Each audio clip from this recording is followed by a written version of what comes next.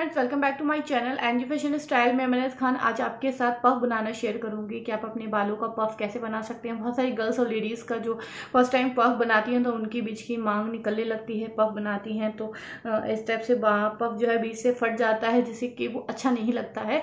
तो ये पफ मैं आज आपको बताऊँगी कि आप अपने कैसे बना सकते हैं सिंपली और बहुत ही आसानी से दो मिनट में ये पफ रेडी हो जाएगा। आप ज़्यादा बातें ना करते हो अपनी वीडियो स्टार्ट करती हूँ। सो लाइट गेट स्टार्ट सबसे पहले आप अपने बालों को दो पार्टों में डिवाइड कर दें, उसके बाद आईब्रोज जहाँ पे आपके एंड होता है, वहाँ से आप दोनों साइडों से अपने बालों को फिंगर से इन कीजिए।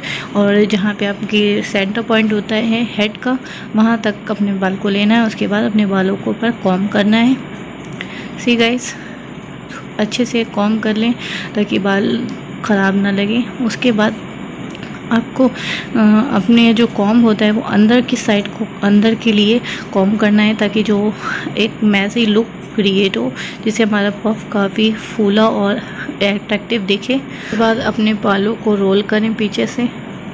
तीन बार रोल करने के बाद हल्का सा प्रेस करें, आगे के लिए उसके बाद अपने दूसरे हैंड से बालों को सेट करने की कोशिश करें, और जो है एक अच्छा सा जो लुक होगा वो आपका क्रिएट हो जाएगा। सो सी गाइस कॉम ना करें कॉम से ख़राब हो जाएँगे, और हाथों से ही सेट करें। उसके बाद बॉबी पिंस वगैरह से सिक्योर कर लें आप अपनी पफ को, और और हाथ से सेट करते हो, उसके बाद हल्का सा कॉम फिरा ले ताकि जो है, जो अच्छे थोड़े थोड़े से बाल अगर वो निकल आए तो वो भी अच्छे से एडजस्ट हो जाएँ और सी गाइस पफ रेडी है। उसके बाद आप पोनी बना सकते हैं। पोनी चाहे तो पोनी बनाए हेयर स्टाइल कोई सा भी बनाना चाहें, वो बना सकते हैं उसके बाद।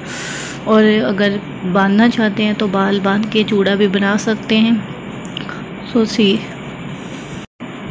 and this is my final look आप देख सकते हैं गाइस कितना प्यारा पफ लग रहा है।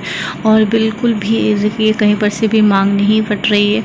और कितना ज़्यादा अट्रैक्टिव लग रहा है। वीडियो पसंद आई तो वीडियो को लाइक ज़रूर कर दें और शेयर करें अपने फ्रेंड्स के साथ। कमेंट करें और सब्सक्राइब कर दें मेरे चैनल को। बाय बाय टेक केयर अल्लाह हाफि